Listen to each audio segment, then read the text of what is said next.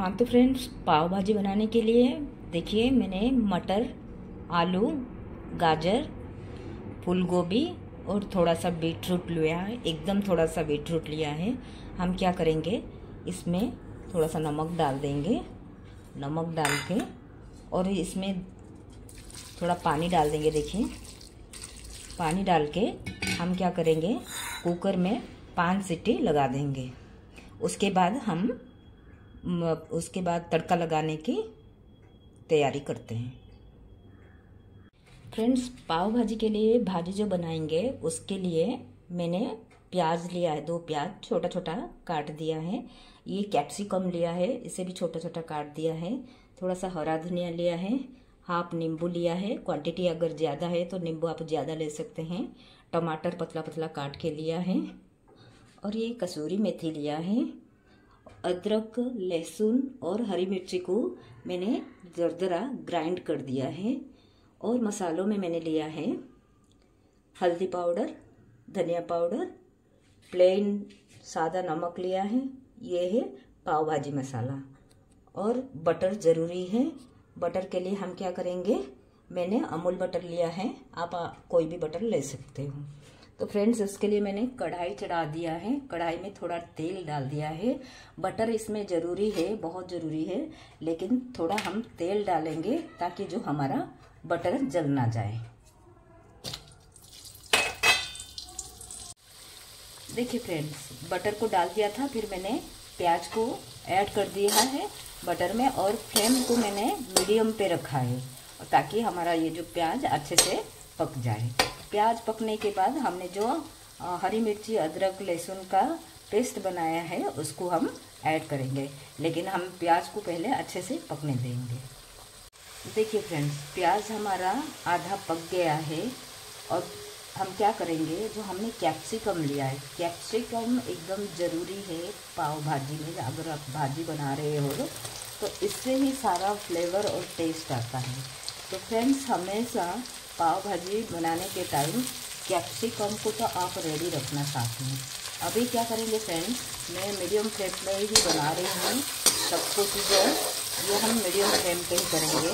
हमारा प्याज आधा पक गया था। अभी शिमला मिर्च को भी हम प्याज के साथ थोड़ी देर और पकाएँगे। देखिए, प्याज और शिमला मिर्च हमारा अच्छे से पक गया है। अभी हम क्या करेंगे? हमने जो कस्तूरी मेथी लिया था, वो तो कस्तूरी मेथी को हम क्या करेंगे? ये तेल में ही फ्राई कर लेंगे। तो इससे क्या होगा? बहुत अच्छा टेस्ट और फ्लेवर आएगा। बाद में भी आप भाजी बनने के बाद भी इसको तवे में सेक के, हल्का गर्म करके सेक के इसमें डाल सकते हैं। लेकिन मैं हमेशा ये प्याज को फ्राई करने के टाइम ही कसूरी मेथी को डाल देती हूँ। इससे क्या होता है ना? ये अच्छा फ्लेवर आता है। फिर मैं फ्रेंड्स क्या करूँगी? कसूरी मेथी तो डाल दिया है मैंने। अभी मैं इसमें जो हमने अदरक, लहसुन और हरी मिर्ची को दरदरा पीसा था, वो मैं इसमें डाल देती हूँ। इसमें डाल के अदरक, लहसुन को दो मिनट तक लो मीडियम फ्लेम पे पकाना है। फ्लेम को हाई नहीं करना है, इसको लो मीडियम फ्लेम पे पकाना है। फ्लेम हाई करेंगे तो आपका जो अदरक, लहसुन जल सकता है और टेस्ट ख़राब हो जाएगा। तो फ्रेंड्स हमेशा इसको मीडियम फ्लेम पर रख के ही अदरक लहसुन को दो मिनट तक पकाना है। देखिए, अभी हमारा अदरक लहसुन जो अच्छे से पक गया है, हम क्या करेंगे? अभी इसमें थोड़ा सा तेल है, तेल आपको दिख रहा होगा। उसमें हमने जो ड्राई मसाला सब लिया था, हल्दी और पाव भाजी, मसाला, ये सब हम इसमें ऐड कर देंगे। धनिया पाउडर, हल्दी पाउडर, इसमें सब ऐड कर देंगे। तो क्या होगा, ये मसाला जो है, तेल में फ्राई हो जाएगा। नहीं तो अलग से आपको पानी डाल के उसको मसाला जल ना जाए, सोच के पानी डालना पड़ेगा। लेकिन तेल में ही हम मसालों को अगर फ्राई करेंगे तो अच्छा टेस्ट आता है उसका। एक मिनट बस, लो मीडियम फ्लेम पे मसालों को भी अच्छे से फ्राई कर देंगे, देखिए।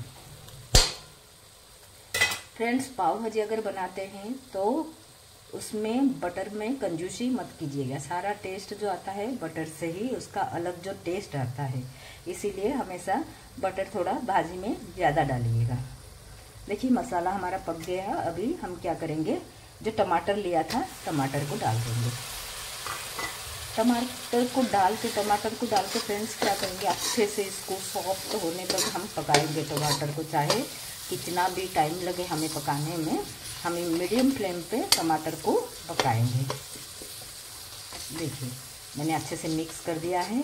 अभी हम टमाटर पकने तक वेट करेंगे। उसके बाद जो हमने बॉईल किया था वेजिटेबल्स इसमें डालेंगे।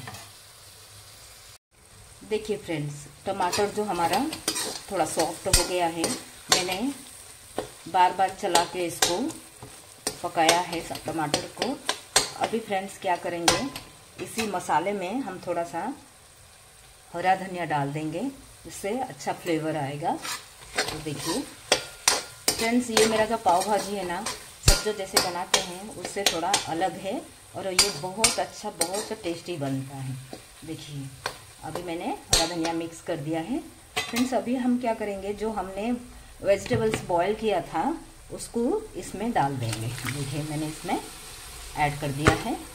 और ऐड करने के बाद इसको हम क्या करेंगे? जो मसाला है ना, मसाले के साथ पहले अच्छे से मीडियम फ्लेम पे अच्छे से पकाएँगे।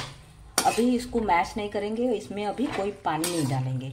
इसको थोड़ा सा पानी सूखने तक इसमें जो था, उसको अच्छे से दो मिनट हाई मीडियम फ्लेम पे पकाएँगे। ताकि इसका जो पानी मसाला सब इस वेजिटेबल्स के अंदर जाए और अच्छा टेस्ट आने के लिए। देखिए, मैंने मिक्स कर दिया है। हाई मीडियम फ्लेम पे इसको अभी मैं थोड़ी दो मिनट चलाती हूँ। उसके बाद मैशर लेके पोटैटो मैशर लेके उसको मैश करेंगे। देखिए फ्रेंड्स हमारी भाजी कितनी कलरफुल दिख रही है। और फ्रेंड्स क्या किया मैंने? ये जो मसाले के साथ ये सारे वेजिटेबल्स को अच्छे से दो मिनट तक पकाया है, ताकि जो मसाला का टेस्ट है ना, हमारे इस वेजिटेबल्स के अंदर अच्छे से जाए और अच्छा बहुत अच्छा टेस्ट आए। तो फिर क्या करेंगे फ्रेंड अभी मैंने एक पोटैटो मैशर लिया है। हम क्या करेंगे? इसको मैश करेंगे। अच्छे से मैश कर देंगे। उसके बाद थोड़ा थोड़ा हमें अगर पानी जैसे चाहिए तो हम क्या करेंगे फ्रेंड्स इसमें थोड़ा थोड़ा पानी देके इसको पतला करेंगे। ये जो सारे वेजिटेबल्स को हम अच्छे से मैश कर देंगे। देखिए, मैं मैश कर रही हूँ। धीरे धीरे ये पूरा ठीक होता जाएगा और फिर इसमें हम क्या करेंगे थोड़ा थोड़ा पानी डाल के इसको एक प्रॉपर भाजी बनाएँगे। देखिए, ऐसे आपको मैश करना है पूरा, सारी सब्ज़ियाँ मिक्स होने तक। देखिए फ्रेंड्स अभी मैंने वेजिटेबल्स को मसाले के साथ अच्छे से मिक्स करके पोटैटो मैशर से अच्छे से मैश कर दिया है। अभी फ्रेंड्स ये बहुत थिक है। ये पाव के साथ खाने के लायक अभी नहीं बना है। लेकिन हम क्या करेंगे फ्रेंड्स, थोड़ा पानी ऐड करेंगे इसमें। पानी ऐड करके उसका थिकनेस उसका सेट करेंगे। देखिए फ्रेंड्स। ये हम क्या करेंगे इसका थिकनेस थिकनेस इसका सेट करने के बाद हम इसको अच्छे से पकाएँगे। आपको कितना थिकनेस चाहिए आप उतना रख सकते हो। आ, लेकिन ज़्यादा पतला नहीं करना है और ज़्यादा गाढ़ा भी नहीं करना है। इसको प्रॉपर भाजी जैसे बनाना है। देखिए अभी हमें थोड़ा अभी पकाना है। मैंने इतना सेट कर दिया है और इसको थोड़ा सा अभी पकाना है।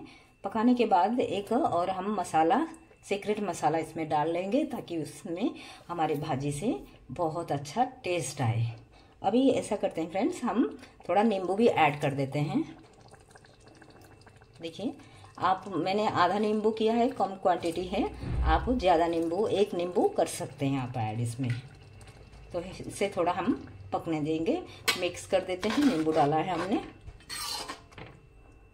और फ्रेंड्स हम क्या करेंगे, पकने के बाद हमारा जो सीक्रेट इन जो एक मसाला है, बनने के बाद हम डालेंगे, वो है, देखिए किचन किंग मसाला है। ये मसाला हम अभी इसमें ऐड करेंगे, थोड़ा सा बनने के बाद। देखिए फ्रेंड्स अभी हमारा ये भाजी जो है, अच्छे से अभी पक गया है। अभी क्या करेंगे हम, जो हमने सीक्रेट मसाला लिया है किचन किंग मसाला, इसको क्या करेंगे, हम भाजी में डाल देंगे।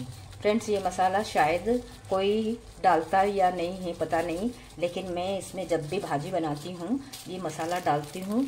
ज़्यादा मैं बटर डालती हूँ ताकि ये भाजी का टेस्ट बहुत अच्छा हो। देखिए, अभी मैंने ये किचन किंग मसाला डाल दिया है। अभी इसको एक मिनट मसाला डालने के बाद हम ज़्यादा टाइम नहीं पकाएँगे। इसको क्या क्या करेंगे? एक मिनट पका के बस निकाल देंगे। देखिए, मैंने थोड़ा सा हरा धनिया भी डाल दिया है। बहुत अच्छा दिख रहा है हमारा भाजी। पाव के साथ खाएँगे तो एक बार आप खाएँगे तो उंगली चाटते ही रह जाएँगे और बार बार बनाने का आपको मन होगा। तो चलिए फ्रेंड्स हम प्लेटिंग करके देखते हैं हमारा पाव भाजी कैसे बना है। देखिए फ्रेंड्स, पाव भाजी हमारा रेडी हो गया है।